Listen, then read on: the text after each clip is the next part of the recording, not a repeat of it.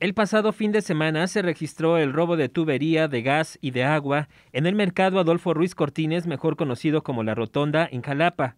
Los locatarios, al abrir sus negocios de comida, se percataron que no tenían gas.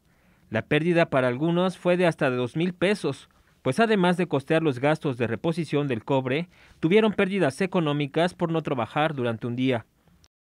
También nos robaron eh, parte de la instalación del agua, tubería de agua, y lo que ya fue el día lunes, pues al intentar prender las estufas de algunos de los locatarios, eh, pues no encendían y acaban de cargar gas. Entonces, ¿cuál va siendo la sorpresa? Que al subir, bueno, se subieron a las escaleras para ver si no estaba cerrado algo, este, se dan cuenta que está cortado la tubería de, gas y pues ahí es donde nos damos cuenta que, que se hizo un robo a cuatro compañeros, ¿no? a cuatro personas que son los que este, fueron las afectadas, que una de ellas hace tortillas, otros se dedican a la cocina.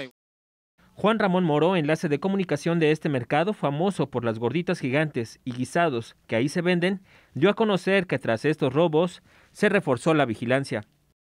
Se dio una respuesta por parte de las autoridades, eh, sí han habido ya rondines en la madrugada e incluso el velador que tenemos eh, antes no lo dejaban salir, solamente estaba dentro del mercado, ahora a ciertas horas eh, de manera este, pues no, no continua, sino que a ciertas horas sale el velador, llegan los policías, suben con él a verificar que no haya nada a la periferia, que haya seguridad, entonces por ese sentido eh, sí ha habido el apoyo. Obviamente se requiere de más apoyo también durante el día, eh, por también ha habido situaciones con algunas personas alrededor.